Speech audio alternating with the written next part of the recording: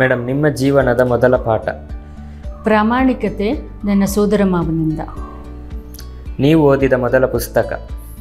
ಚೋಮನದುಡಿ ನಿಮ್ಮ ದೃಷ್ಟಿಯಲ್ಲಿ ಸುಖ ಅಂತ ಹೇಳಿದರೆ ಏನು?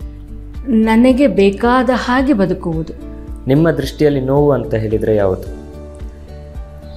ನನ್ನ ಮನಸ್ಸಿಗೆ ಒಪ್ಪದ್ದನ್ನು ಮಾಡುವ ಒತ್ತಡ. ನಿಮ್ಮ ಯಾವ ಗುಣ ನಿಮಗೆ ದುಃಖ ತರಿಸುತ್ತೆ? ಔದಾರ್ಯ. ನಿಮ್ಮ ಯಾವ ಗುಣ ಹೆಮ್ಮೆ ಅನಿಸುತ್ತೆ? ಶಿಸ್ತು. ಮೇಡಮ್ ನಿಮ್ಮ ಪ್ರಕಾರ ಬದುಕು ಅಂತ ಹೇಳಿದರೆ? ಬದುಕು ಕೊಟ್ಟದ್ದನ್ನೆಲ್ಲ ತೆಗೆದುಕೊಳ್ಳೋದು ಸಾಹಿತ್ಯ ಅಂದರೆ? ಬದುಕಿನ ಚೆಲುವನ್ನು ತಿಳಿಸಿಕೊಡುವುದು. ಹಣ ಅಂದರೆ? ಬೇಕು ಬೇಡದ ವಸ್ತು. ನಿಮ್ಮ ಜೀವನದಲ್ಲಿ ಮರೆಯಲಾರದ ಮಾತು? ನಿನ್ನ ಮನಸ್ಸಾಕ್ಷಿಗೆ ವಿರುದ್ಧವಾಗಿ ನಡೆಯಬೇಡ ಎನ್ನುವ ನನ್ನ ತಂದೆಯ ಮಾತು. ನಿಮ್ಮ ಜೀವನದ ಅತ್ಯಂತ ಸಂತಸದ ಕ್ಷಣ?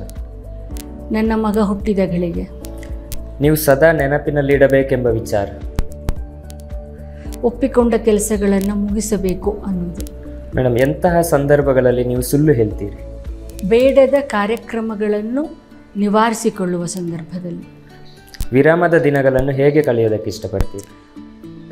ಆರಾಮವಾಗಿ ಸಂಗೀತ ಕೇಳ್ತಾ ಬೇಕಾದ್ದನ್ನು ಓದ್ತಾ ಮಲಗಿ ಓದುವ ಮಲಗಿ ಸಂಗೀತ ಕೇಳುವ.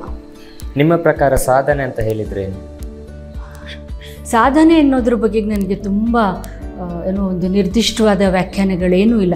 ನನಗೆ ಖುಷಿ ಕೊಡೋದೇ ಸಾಧನೆ ನಾನು ತಿಳ್ಕೊಳ್ಬಲ್ಲೆ ಹೊರತು. ಸಾಧನೆ ಅನ್ನೋದು ಯಾವುದೋ ಒಂದು ಪ್ರಶಸ್ತಿ ಯಾವುದೋ ಒಂದು ಡಿಗ್ರಿ ಅಂಥ ಇದು ಯಾವುದೂ ಇಲ್ಲ ನನಗೆ. ನಿಮ್ಮ ದೃಷ್ಟಿಯಲ್ಲಿ ಪ್ರೀತಿ ಅಂತ ಹೇಳಿದರೆ?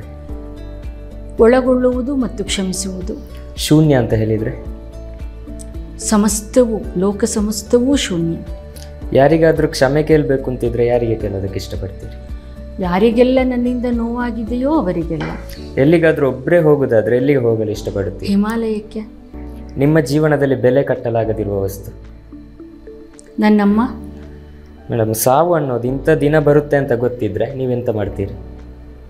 ಸಿದ್ಧವಾಗ್ತೀನಿ ಅದಕ್ಕೆ.